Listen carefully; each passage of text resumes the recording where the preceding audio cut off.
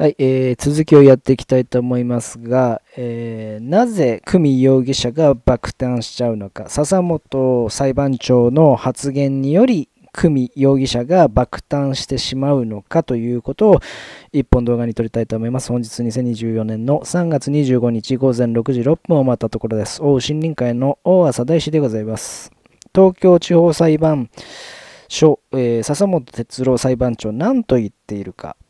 ね、これうんと、本件規約、当規約上には、当主の解任に関する具体的な規定は存在しないものの、本件規約第7条1項は、当主は大津彩香都市と規定して、当主名を規約上明記しており、当主を変更するためには、規約の変更が必要であるところ、本件当、えー、規約11条は、当規約の、え改版は総会において決定すると規定している。このような本件等規約における規約上の根拠に加えて、えー、党首の政党の党首のその意思に反して一方的に解任することは当該党首のみならず当該政党及びその党員に対して重大な影響を及ぼす事項であることにも鑑みると少なくともと本件等規約の下で、えー、本件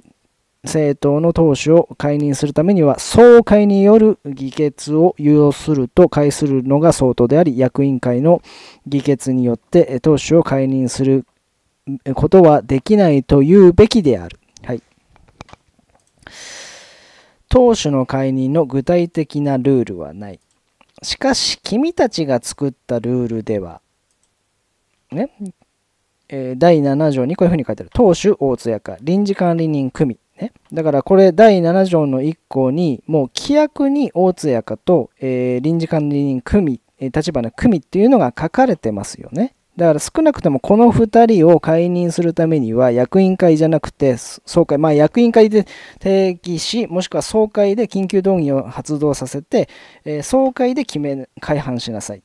ね、これ。で、第11条の1項、えー、規約の改版。本規約の改版は総会において決定する。これは君たちが作ったルールでしょと。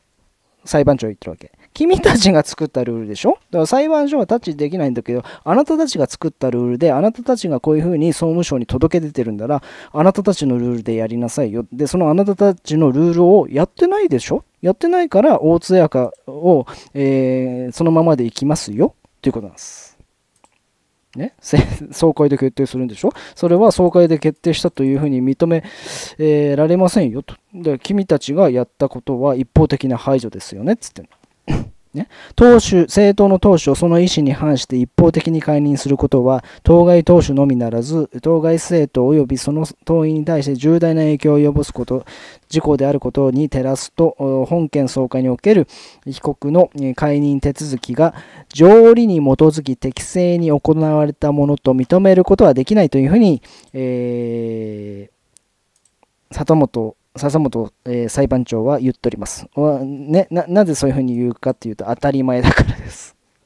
ね、当たり前なんですよ。笹本裁判所じゃな、えー、裁判長だけじゃなくて、普通の常識概念からいくとそうなんですよ。ね、私私をトレースしてきたっていうそういうこと。ね、別に私が偉いわけでも何でもないんです。えー、ね、普通の感覚からいくと、ね、あの党が政治家女子48党の党が決めたルールで、その決めた通りにやってないよねって裁判長は言ってるだけの話なんですね。はい、ここで重要になってくるのが、党首を立花組に置き換えます。これなぜかって言ったら、あの NHK に雇われた、これ仮の話だけど、ヒットマン、スナイパーとかに、えー、スナイパーライフルで、えー、立花隆がプシュンってやられた場合には、ね、えー、立花久美が登場してくるわけ。だから規約に入れて、立花久美自体が規約なんですよ。そして臨時管理人として、えー、その役目をするわけね。えー、だから、あの、だから公金、えー、公金から、えー、組にお金が支払われてるわけ。我々の税金を躊躇してもいい人なんです。組は躊躇してもいいはず。ね、これ、このさっきの文章ね、一方的な排除ですよねっていう裁判長の、えー、まあ、条理に基づき適正に行われたと認めることはできないの部分を当主までの部分を党首から立花組に置き換えるとこうなります。政党の臨時管理人、立花組をその意思に反して一方的に解任することは、当該臨時管理人、立花組のみならず、当該政党に及びその党員、えー、当該政党及びその党員に対して重大な影響を及ぼす事項であることに照らすと、本件総会における被告の、被告というか、まあ、えー、組の臨時管理人の解任手続きが、条理に基づき適正に行われて、えー、と認めることができないとなるはずなんですよ。ね？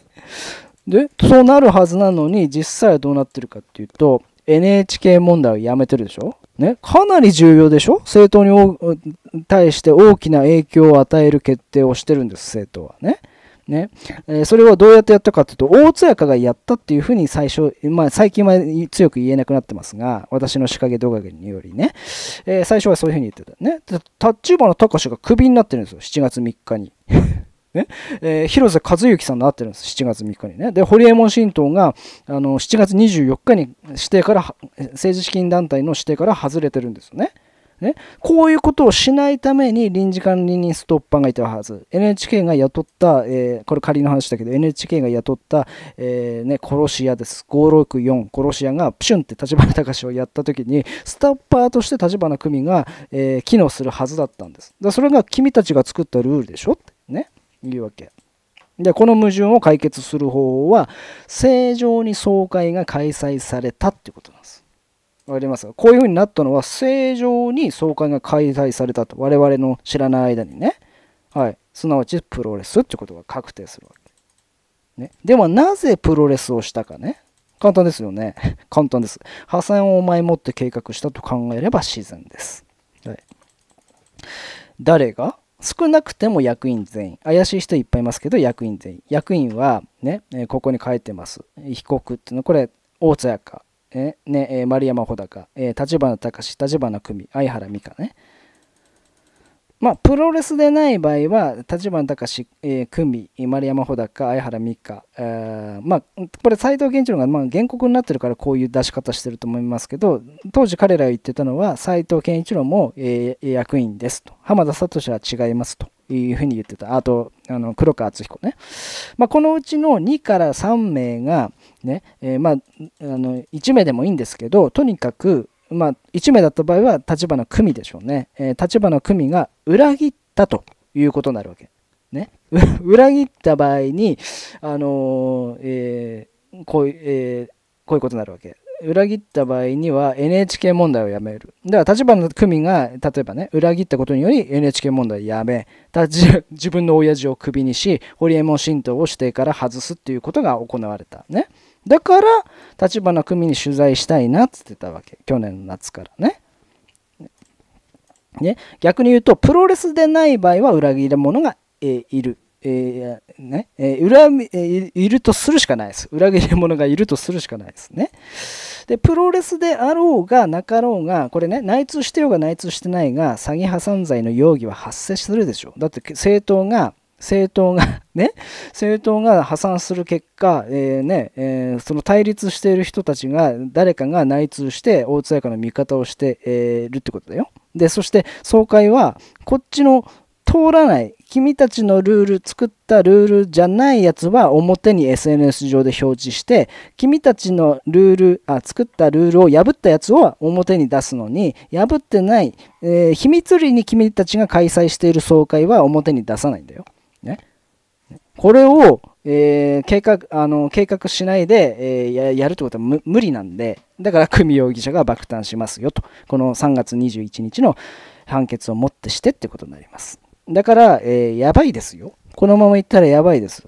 ね、マジでね。えー、政党がだから借金募る時から、えー、やっていた可能性がある。だって丸山穂高っていうのは NHK 党近畿支部という紛らわしい名前を使って、えー、資金をやってたわけでしょ？その丸山穂高が役員に入ってんだから。で、その丸山穂高どうしてたかっていうと、少なくても大津屋家と対立関係にあったはずでしょ？ね。で、当然ですけど、立花久美と立花隆は同意、同意でしょ？同意だから反対してるはずでしょ？じゃあ、相原美香が仮に、あの、裏切ったとしても、え4対1じゃん。